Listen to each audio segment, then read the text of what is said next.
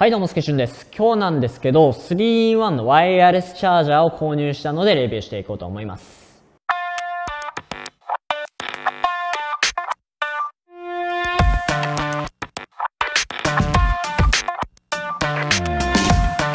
僕はビデオグラファーを10年以上続けてきていて、主に映像の仕事をしているんですが、別チャンネルで映像のチャンネルもやってますので、ぜひそちらもご覧ください。で、今日なんですけれども、えー、久しぶりにですね購入したガジェットこれを紹介していこうと思います。今日紹介するのがですねこれ梅森から発売されているワイヤレス充電器になります。これどういうワイヤレス充電器かっていうとですねこれ 3in1 あの3つ充電することができるワイヤレスチャージャーになっています。この3つっていうのがですね急速充電に対応しているスマートフォンが1つ。あとは AirPods とか AirPods Pro ですね。ワイヤレスチャージャーに対応しているイヤホン。あとは Apple Watch この3つを同時に充電することができるっていう結構便利なものになってます。購入したそのきっかけまあいろんなものがあったりするんですけどこう平べったいのようなものとかいろんなものが売られてる。まあ2つだけっていうものもありますしいろんなものを見てる中であのスペースをなかなかこう取りづらいようなものがいいなっていうふうに思ってたのが1つ。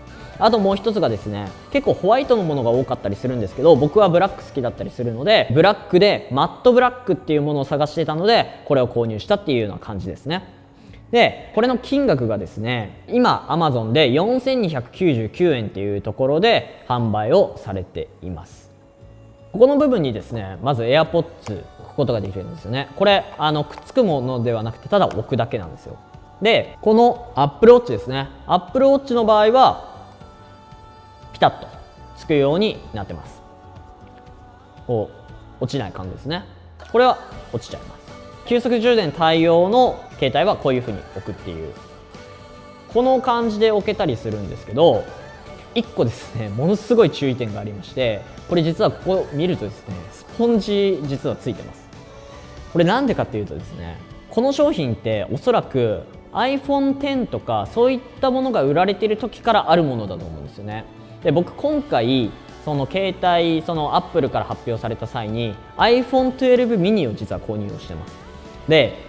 高さがですね実は合わないんですよね。このスポンジがない状態でここあの置くところあるんですけどここに携帯を置いてしまうとその急速充電の場所が合わないのかあの全然充電されなくなってしまってですねいろいろ試行錯誤した結果このスポンジをつけるっていうことになりました。これ、まあ、どこからどう見てもダサかったりはするんですけど今いろんな携帯アップルの iPhone だけで言ってもいろんな大きさがある中でその急速充電の場所っていうのはどうしても決まっちゃってたりはするのでそこは、まあ、こういうスタンド型に関してはちょっと難しい部分があるのかなと思います。なので僕みたいに iPhone12 mini を購入した方だったりあとは iPhone12 Pro Max とかすごく大きい携帯を購入した時にはこういったスタンド型の充電器で自分の機種がちゃんと対応しているのかちゃんと見るのがいいかなと思います。僕は全然見ずに購入をしてしまったのでこういったスポンジをつけて対応してるって感じですかね。黒のこういったスタンド型の充電器って他に選択肢がなかったりするので、まあ、どの道僕は買ってたかなっていう感じはしますが、えー、一つ注意が必要です。ただ一応ですねこの Amazon のページを見てみると今対応しているのが iPhone X、iPhone XR、10S Max、8、8 Plus、iPhone 11、11 Pro、iPhone 11 Pro Max、iPhone 12 Pro Max、iPhone 12 Pro、iPhone 12 SE2 っていう風になってるので iPhone 12 mini 以外であれば Apple の携帯は全て対応しているんじゃないかっていう感じですね。iPhone 12 mini だけ対応してないっていう風に思っていただければいいかなと思います。あのですねこういった充電器って充電されてるのかどうかって分かんなかったりするじゃないですか。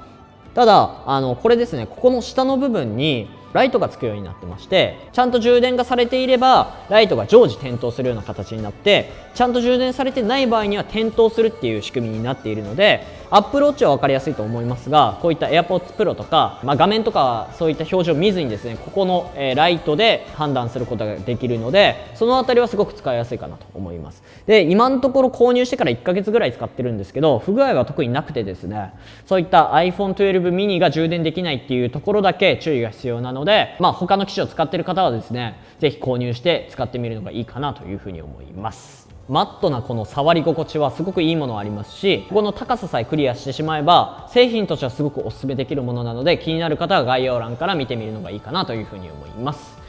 依存ファッションだったりガジェット機材を紹介してますのでぜひチャンネル登録よろしくお願いします。ではまた次の動画でお会いしましょう。さよなら。